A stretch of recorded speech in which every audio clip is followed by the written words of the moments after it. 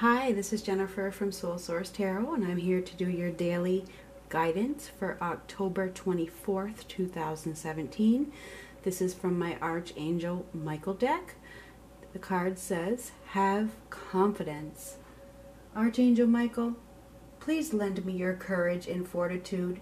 Help me realize that I am one with all that is divine wisdom, strength, love, creativity, abundance, and health.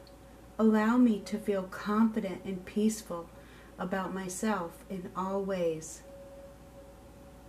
This is for October 24th, 2017 for all signs. Have confidence today.